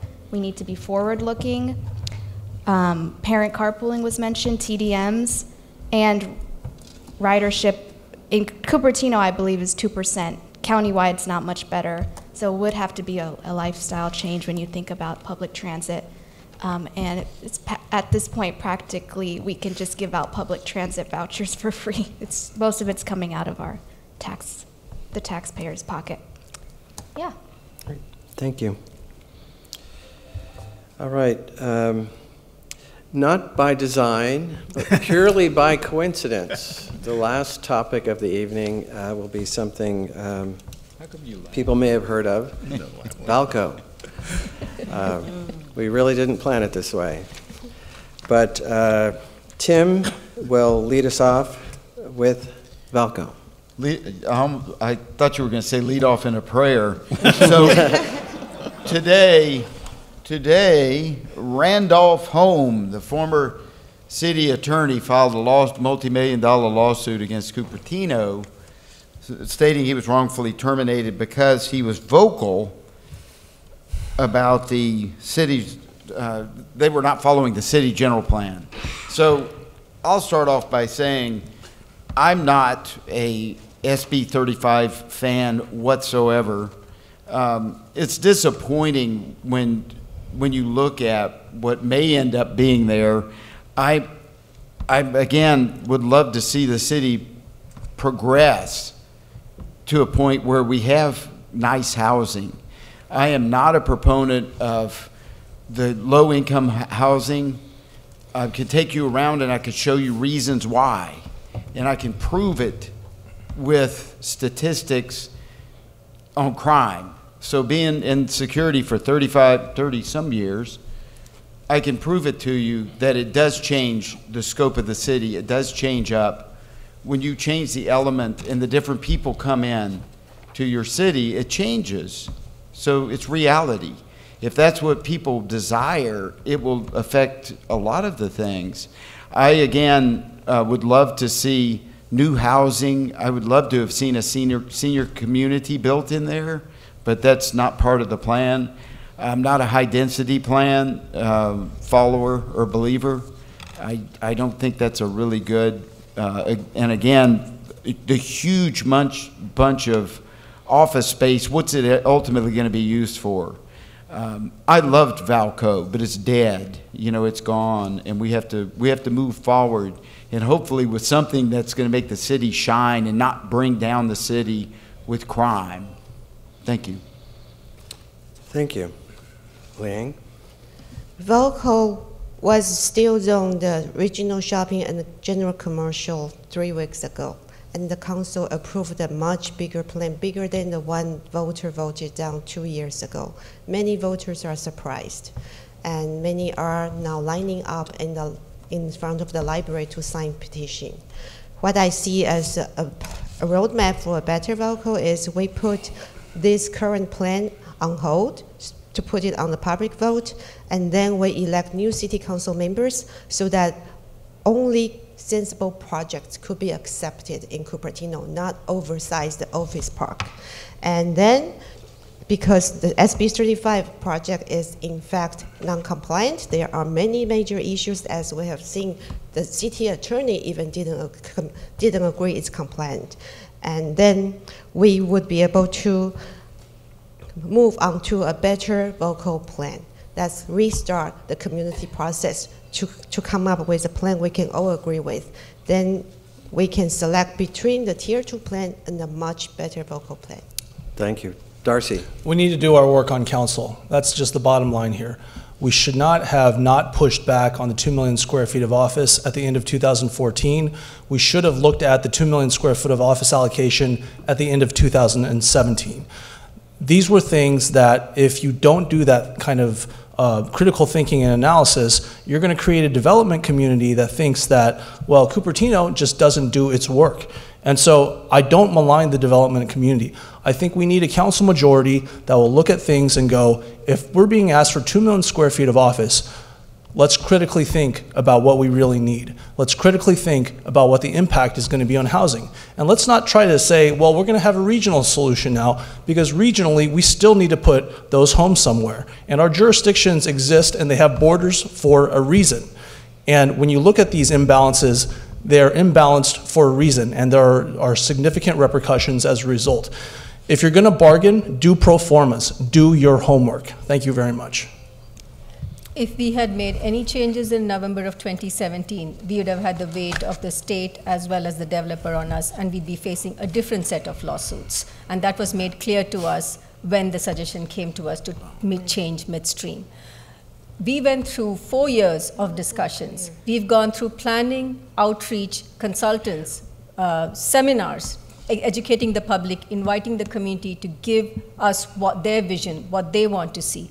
And that is how we came up with the Vallco uh, Tier 2 specific plan, as opposed to SB 35, which could give us no mitigation for traffic, nothing for schools, uh, nothing for the community, whereas it- the Tier 2 gives us several, several, uh, $24.5 million for both the school districts, traffic mitigation, shuttle services, Vallco 280 interchange, the Performing Arts Center, and a city hall, which we would never have seen if it hadn't been for working with the developer in open, transparently in front of the community. Thank you. Hung Wei. So, as the uh, water recycling plant uh, for uh, is a private-public collaboration among the city of Sunnyvale, Apple, and the uh, water district. Vallco specific plan too. It's really a, a model of private-public collaboration too. Yes, it's not perfect, but it's much better than SB 35 with all the benefits that Savita just said. I can name a few: 30 million dollars for City Hall, 22 million dollars for uh, Performing Arts Center, 14 and a quarter million dollar cash to CUSD a 25,000 million, uh, square footage of facility for dog school and innovation center for Fremont Union High School District, 11 million dollars for traffic mitigation. I'm running out of time, and shuttle bus services and all these. Yes, we do have a lot of housing, which is inclusive housing. I disagree that inclusive housing is going to bring crime. You know, our quality of life will not be compromised by inclusive housing. So I am advocating for inclusive housing and good benefits and private-public collaboration. Thank you. Jon. Having knocked on doors for four years now, I have a pretty good feel for, for what the residents want. How many of you think you, your neighbors want 13-story buildings? This pro-developer, uh, three councilmen that approved this, how many of your neighbors want that? Or the 22-story SB 35? Well, Randy Hom has now published uh, his lawsuit that says it's non-compliant. Quit threatening with us, us with something that's not compliant. Do your homework, council. For you three and the other two candidates that seem to think, oh, we have to do what the developer says or he's going to sue us. No, we sue him. His SB 35 is non-compliant. You guys don't want 13-story buildings. Where have you seen uh, uh, mixed use, 13 stories? I hear the other councilman saying it doesn't pencil out, the office has to pay for it. Monticello at Lawrence and Monroe has zero office. It's 16 acres, it's all housing and retail. It didn't pencil out, then why did it get built? Do your homework. Thank you. Orrin. Yeah, so how are those lawsuits working out for you with Measure C? But let's not go there. So I wish we had a time machine. If we had a time machine, we could go back two years, and after Measure C and D both failed, we could have maybe gone and tweaked the, the Hills at Vallco plan to come up with something, maybe more housing, a little less office, uh, something that I think would have been a showcase for the city. We don't have a time machine. So in my opinion, we have two choices now. We have an SB 35 plan that I believe is, has been validated and will stay validated. And we have the specific plan, which as you heard, is superior to the SB 35 plan in virtually every way. Starting with traffic, if you're worrying about traffic, one plan has zero traffic mitigation. The other has the same kind of traffic mitigation for the office that we approved with Apple Park, where a third of the people have to take alternative, excuse me, alternative transportation. So, in my opinion, right now, um, putting a referendum on the ballot is playing a game of chicken uh, with the residents of this city. That uh, they're going to end up potentially with SB 35, which would be a, a much worse project. Thank you. Tara.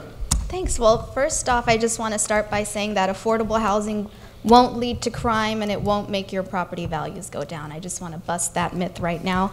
If you need data to back that up, send me an email. Um, I think we're in a tricky position because what a lot of folks want is not financially feasible. You know, just taking to an extreme, all retail is not going to get built. All retail and 300 units of housing is not going to get built. You could approve it, but it would just sit there. No developer would build that. Um, and to be quite honest, I don't think we could get a project with less than 1,700 units of housing. And if we wanted to reduce the office space, we'd need to increase the housing there. So I think as leaders, we need to be transparent and truthful in what could actually get built. Um, and I know a lot of folks um, oppose tier two. I wouldn't have voted for tier two either because it brings in a lot more jobs than housing. I prefer tier one.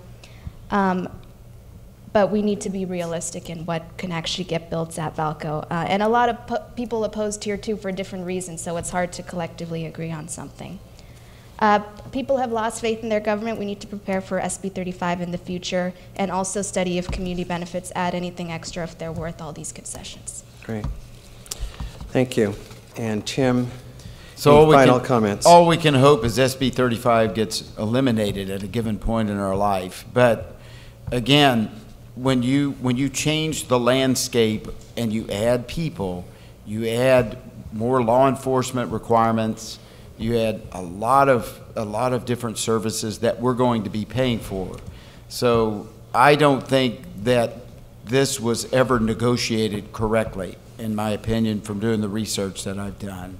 Um, I don't, and I don't think the citizens were done right with the, at the end of the day. So, um, please just hope we don't get stuck with the SB 35 plan, because it, it would be disastrous for the city. Thank you very much. Well, thank you, everyone, for your comments and especially for your hard work and willingness to commit to represent our community. Uh, I'd like to conclude this evening's activities with uh, statements from each of the candidates. Uh, We'll allow up to uh, two minutes, Uh, and we'll begin with Liang. Oh. So I'd like to add that I would like a community-friendly Vallco with significant portion for retail, shopping, entertainment, and more. Not just 4% of the entire project as uh, retail. And I would like to have some housing, moderate amount, and sufficient parkland and parking space. A plan that's well publicized, well discussed in the community before its approval. I ran for Cupertino Union School District because the school district was in crisis. Now we've brought positive changes because we've rebuilt trust and transparency.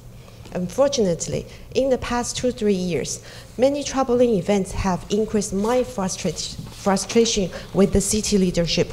We might not recognize our beloved Cupertino in a few years. I would like to bring positive changes to Cupertino. If elected, most likely a new board member will be appointed to replace me. Most likely there won't be a special election as a lot of board members have, are usually appointed. And I'm committed to continue to be open and accessible to all the families for city and school issues. There should be no more council members, members who collaborate but mostly with developers and special interests while leaving the residents in the dark. No more council members who say they care and then rubber stamp whatever dense projects put before them. No more. We need council members who believe in grassroots democracy and ask tough questions to keep the city staff, developers, and polluters accountable. We, the people, should be the drivers of our future. Join me in this campaign for a better Cupertino. Vote for Liang Chao. Vote for the future. Thank you. Thank you. Darcy Paul. I was raised to have intelligence and integrity, and I will tell you, my parents did not have an easy job. It was uh, very difficult, and as parents, we all know that that is something that we aspire to for our children. I've tried to serve in the last four years with honor on the city council, and I think I've done it. I'm not going to spend this time to talk about how unfair a lot of these attacks have been uh, this last year, but I will tell you one thing. Look at our fundraising filings. Look at the fundraising filings of the field, and you'll get a sense of who is willing to do the work. I knew that it is a good idea before going into a campaign season to raise your limit. I'm the only person who raised the $30,000 needed by June 30th. The reason I tell you this is that that is not easy to do. You need foresight, you need to go out and try to get the grassroots funding from the people that support you. And so examine the fundraising filings. Also, examine the fundraising filings to see what the repercussions of not doing your homework are. Because if the people that support you happen to be well moneyed interests, they will put a lot of money into your campaigns, into your supporting causes. Um, and so, with regard to trying to figure out Who's out there doing the thinking? Who's out there doing the work?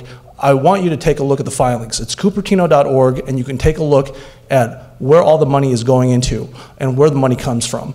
Um, I want to give a plug for the developmentally disabled units of housing. I think that is critically important um, if we have uh, the various types of developments that we're looking at right now. Uh, I would like to make sure that we support those uh, particular units. Um, in terms of the idea of uh, not being petty, let's take the pettiness out of our politics, okay?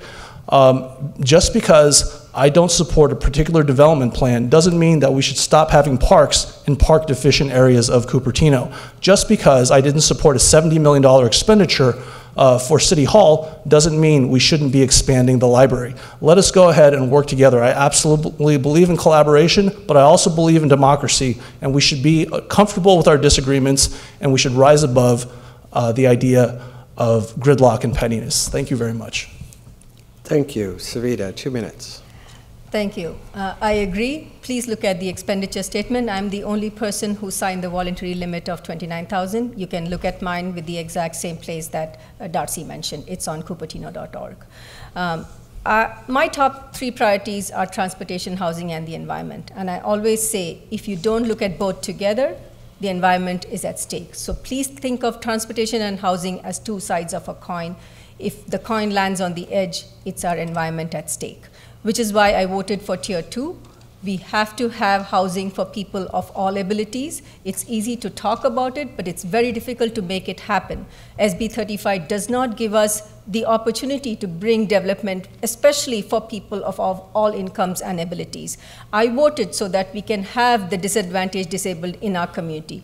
I voted so we can have the seniors in our community. I voted so we can have teachers in our community. If they leave, what will happen to our schools? So that is why I voted for this project. It is extremely important that we make sure it goes through, and it's extremely important that we don't think that the developer will not build SB 35 because they came to the last council meeting and said that they would.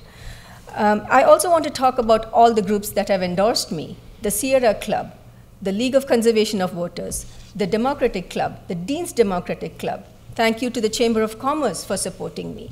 I have all these endorsements because people have seen me as someone who can work with different organizations, reach across the aisle, talk to other cities. Traffic and pollution does not respect city boundaries. We need to work with our neighboring cities and the neighboring mayors and city council members as well as county supervisors all support me because I've been working with them to come up with solutions, both for housing and traffic in our region, and short term solutions for people in our community. So please give me your vote, Savita Vaidhyanathan. I'm number three on the ballot. Thank you very much. Thank you. Wei, two minutes. As your council member, I would devote my time, energy, and resources in being a leader who studies issues, seeks to understand all perspectives, and brings people together to find real solutions, real solutions that are economically viable to be implemented. I will make sure to bring my budget uh, energy budget um, expertise from Fremont Union High School District to manage our budget, to make sure we have fiscal health, and to build great relationships with our employee groups, and also to prioritize our budget toward the quality of life of our residents. I will make sure that Vallco is a beneficial project that makes our schools and cities stronger, build correlations with neighboring cities, and negotiate with Apple to bring real resources for our transit solutions to the region.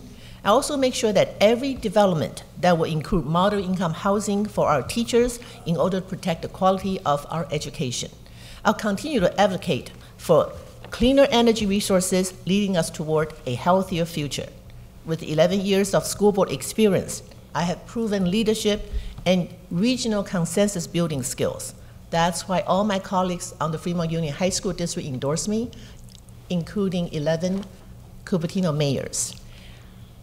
Vote Hung Wei on November 6th. Number four, we can build the best Cupertino together. Thank you. Jon. So I'm running because the three pro-developer councilmen are not representing us. I strongly believe that the most important responsibility of an elected official is to represent the residents, not the developers, the residents.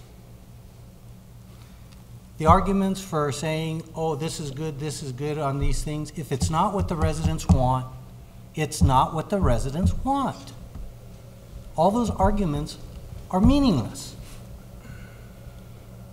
I've been reaching out to residents for the last four years. Can you believe it? It's been going on for four years. Probably some of you have seen me knocking on your doors.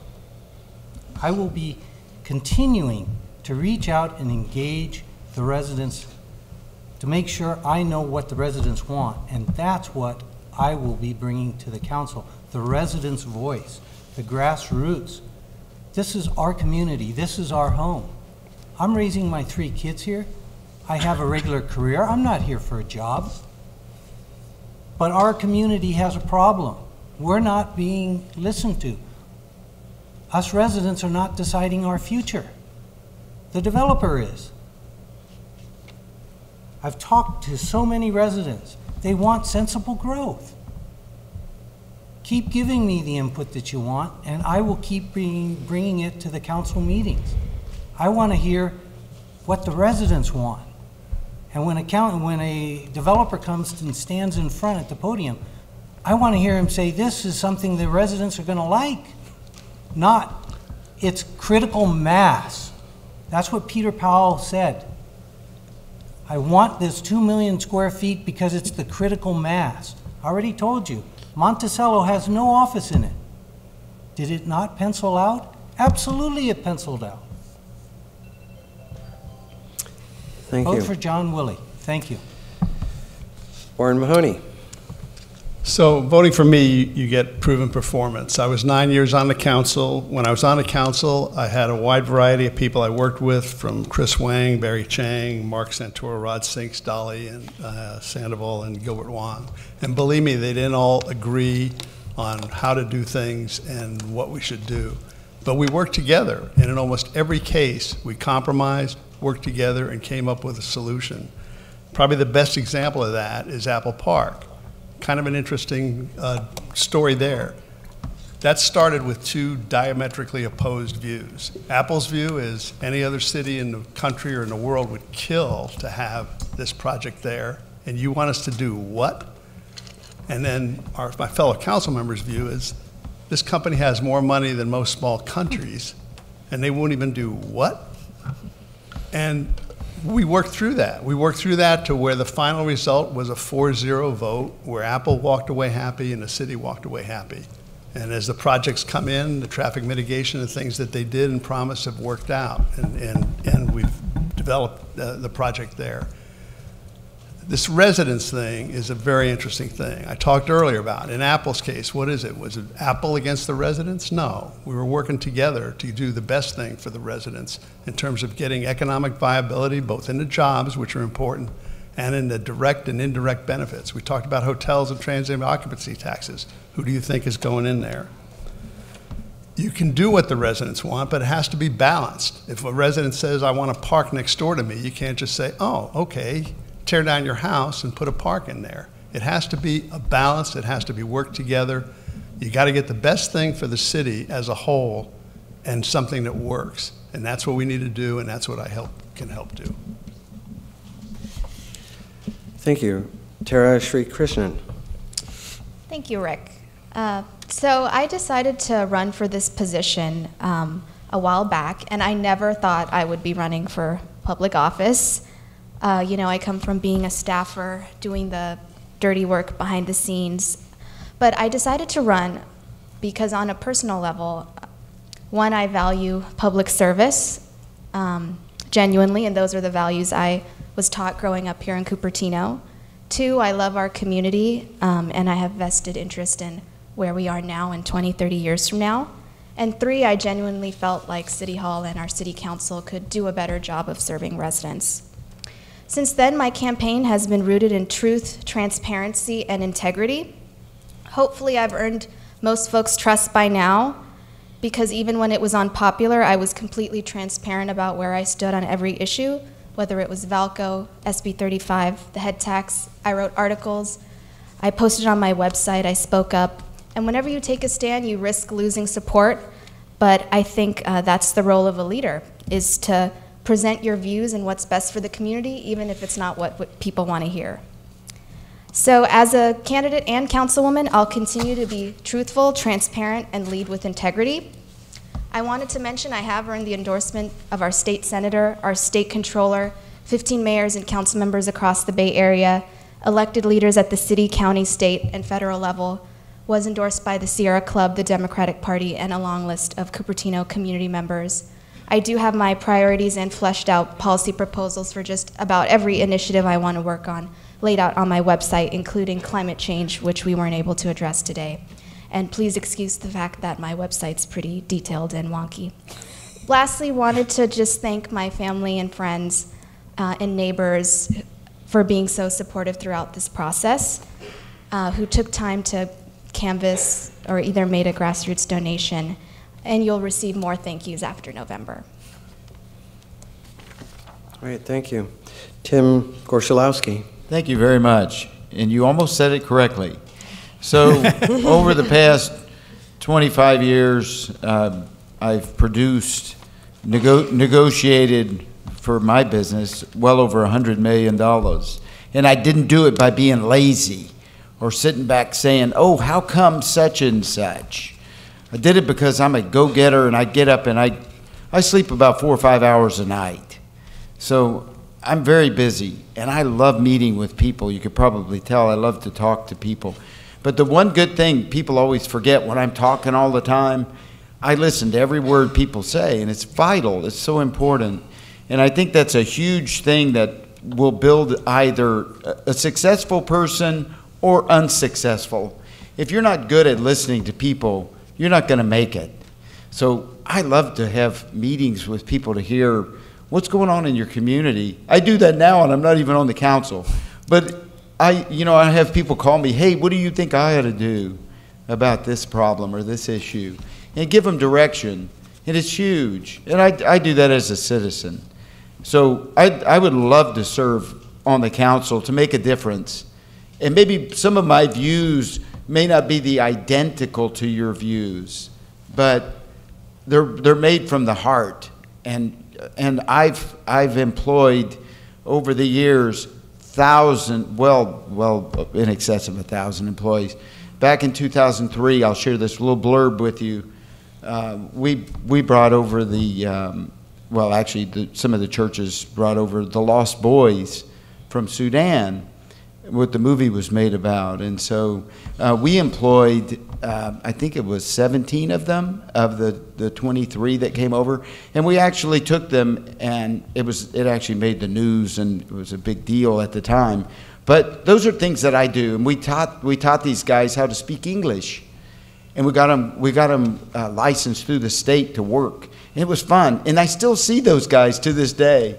So I love things like that. I love promoting kids and the and the people out in the community to be able to work. And thank you very much for sitting here listening to me during this time. I really appreciate all of you guys. Thank you. Thank you. And thank you to our candidates. Uh, please join me in expressing your appreciation for, for our neighbors, uh, people up here who care enough about Cupertino to really, truly get in, involved, uh, certainly as involved as it might be possible to do. Uh, so uh, please, a round of applause. Thanks. Thank you, and if you haven't voted already, November 6th. Thanks, Rick. Thank you, Rick. People probably haven't voted. That's still here. Some have. Some may.